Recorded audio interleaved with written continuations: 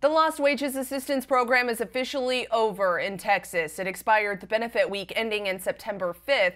It was providing an extra $300 a week to qualified unemployed Texans during the coronavirus pandemic. The Texas Workforce Commission says funds approved by FEMA for the program were limited, so they couldn't extend them beyond that date.